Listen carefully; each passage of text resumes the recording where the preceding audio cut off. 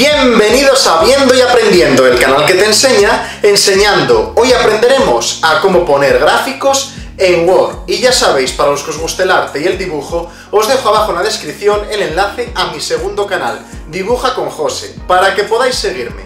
Con nuestro Word abierto es muy fácil insertar un gráfico. Vamos a la pestaña que pone Insertar.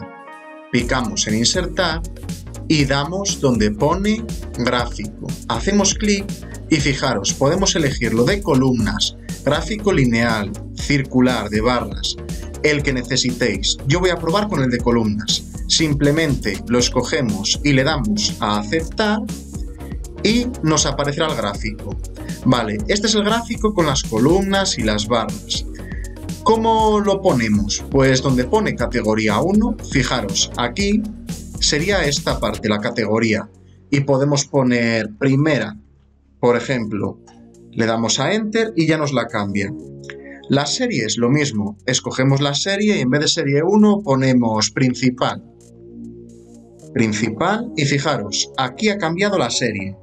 La serie 1 sería la columna azul, la serie 2 la naranja y la serie 3 la gris. Y simplemente aquí modificamos los datos. De la primera, de esta, pues tenemos las tres series y ponemos, por ejemplo, aquí 6. Y ya nos la cambia automáticamente. Aquí 5 y aquí 3, por ejemplo. Y así con todas. Es muy fácil y muy sencillo con cualquier tipo de gráfico, funcionan todos igual. También tenemos aquí al lado a la derecha el botón más, los elementos gráficos, que nos sirve para poner, por ejemplo, títulos de eje, poner el título al lado, como veis, también las etiquetas de datos para poner el número encima de cada barra. Esto es muy útil y la opción de abajo es para cambiar el estilo de barras, si os fijáis, y también el color. Aquí podemos cambiar el color de las barras. Y si queréis un color predeterminado, es muy sencillo.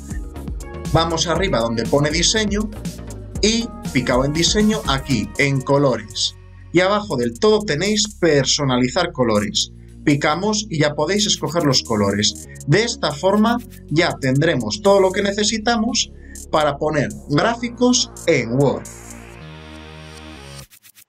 Espero que este vídeo os haya servido de ayuda para aprender a poner gráficos en Word y ya sabéis, ante cualquier duda o consejo, ponedmelo abajo en los comentarios. Un saludo a todos, como siempre, y nos vemos por supuesto para siguientes vídeos.